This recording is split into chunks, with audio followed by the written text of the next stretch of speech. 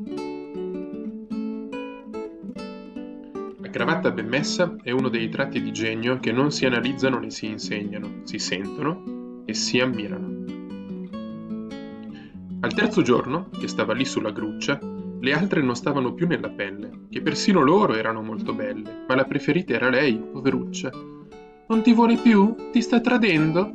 Gli uomini così son fatti, lo sai. Un attimo prima non ti lascerebbero mai, e poi sembra che stiano solo giocando.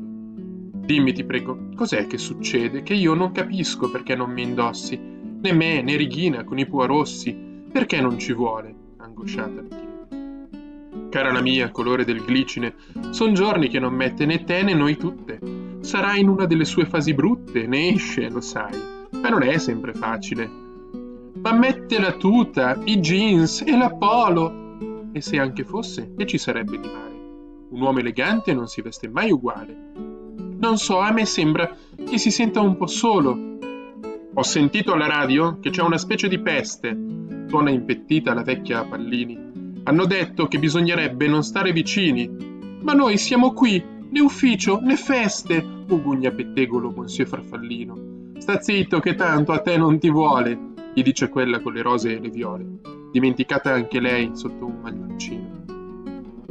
Si chiama Corona, questo virus che a un tratto ha chiuso in casa dall'oggi al domani professori, bancari, elettricisti, artigiani e anche lui, scrittore un po' matto, se anche lavori da solo al PC e non devi uscire nemmeno di casa, non dimenticarti della tua amica Rosa e non la lasciare così chiusa qui.